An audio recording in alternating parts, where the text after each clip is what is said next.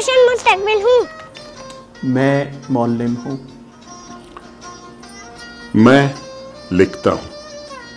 मैं बोलता हूँ। मैं पढ़ती हूँ। मैं अमन का मुआफिज हूँ। मैं मेहनत की अजमत हूँ। मैं कानून का रखवाला हूँ। मैं कहता हूँ। मैं रहनुमा हूँ।